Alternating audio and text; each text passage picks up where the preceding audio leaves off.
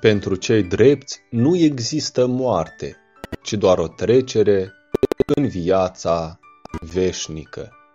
Ne învață Sfântul Atanasie cel Mare. Suntem în marțea săptămânii a 29-a după pogorârea Duhului Sfânt și facem pomenire zămislirii preasfintei născătoare de Dumnezeu de către Sfânta Ana. Tot astăzi pomenim pe Sfânta Prorociță Ana, mama prorocului Samuel.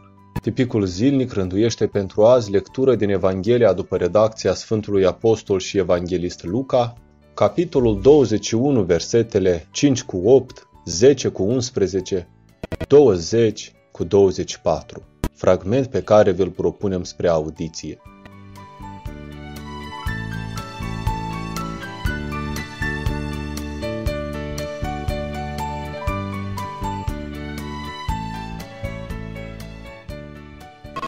Iar unii vorbind despre templu că este frumos împodobit cu pietre și cu podoabe, el a zis, vor veni zile când din cele ce vedeți nu va rămâne piatră peste piatră ca să nu se risipească. Și ei l-au întrebat zicând, învățătorule, când oare vor fi acestea? Și care este semnul când au să fie acestea? Iar el a zis, vedeți să nu vă amăgiți, căci mulți vor veni în numele meu zicând, eu sunt și vremea s-a apropiat. Nu mergeți după ei. Atunci le-a zis, se va ridica neam peste neam și împărăție peste împărăție și vor fi cu tremure mari și pe alocurea foamete și ciumă și spaime și semne mari din cer vor fi. Iar când veți vedea Ierusalimul înconjurat de oști, atunci să știți că s-a apropiat pustiirea lui. Atunci cei din Iudeea să fugă la munți și cei din mijlocul lui să iasă din el și cei de prin țarină să nu intre în el căci acestea sunt zilele răzbunării, ca să se împlinească toate cele scrise.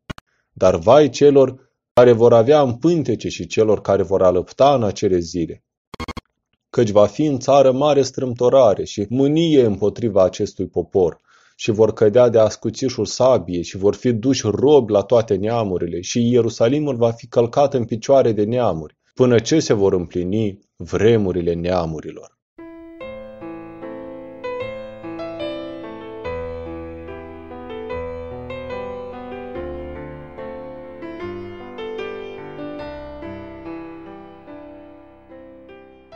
Această pericopă evanghelică ne aduce mărturie despre cuvintele rostite de Domnul nostru Isus Hristos în legătură cu vremea sfârșitului.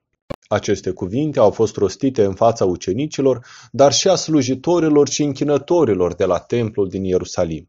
Templul era un edificiu impozant care a fost construit cu multă trudă și cu eforturi materiale deosebite. Era locul unde, conform tradiției iudaice, se lășluia Dumnezeu în slava sa. Era casa lui Iahve. Mântuitorul le spune că va veni o vreme când nu va mai rămâne piatră peste piatră din acest templu. Venirea Fiului lui Dumnezeu va stârni deruta și panica celor care l-au respins pe el și învățătura sa. Dacă vorbim despre venirea Mântuitorului, trebuie să ne pregătim pentru acel eveniment. Pregătirea se face printr-o viață autentic creștină, prin dragoste sinceră îndreptată către Dumnezeu și semeni. Amin.